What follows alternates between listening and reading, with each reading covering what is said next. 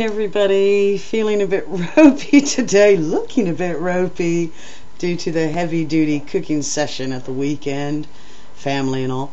Um, right uh, we got we did the rat yeah.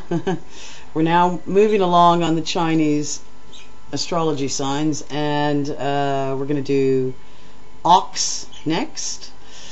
Now oxens are quite interesting creatures because often they're very deep thinking.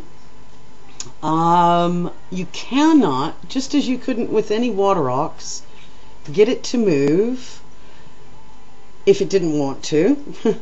they respond very well to emotions.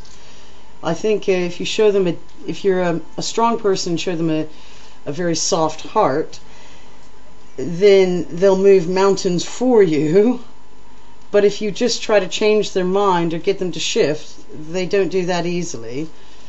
Oxen are very determined individuals and strong willed. Um, they often have very good taste, too. I suppose if you think about it, an ox is often in a very beautiful setting, and I think they like beautiful settings. I, I like oxes. Everyone I meet, I, I tend to get along with. They tend to be very good in business as well because they're very steadfast.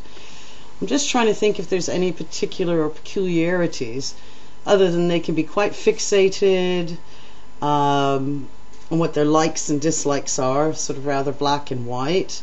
I think the reason that they are sort of made a deity in parts of India is because the deep soulfulness of their eyes, and um, they are very spiritual people. So give an ox a chance. We like them. They're strong.